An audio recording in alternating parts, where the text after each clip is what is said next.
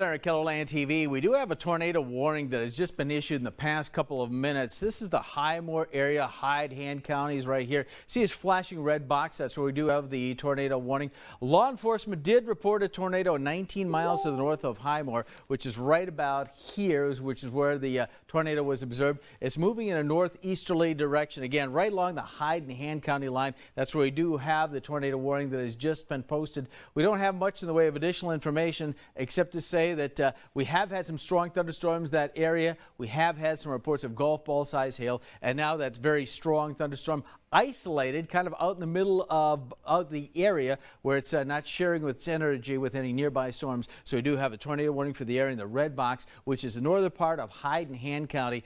Again, tornado spotted 19 miles north of Highmore, moving in a northeasterly direction about 20 miles per hour. We'll have another update as more details become available. Until then, we'll send you back to your program.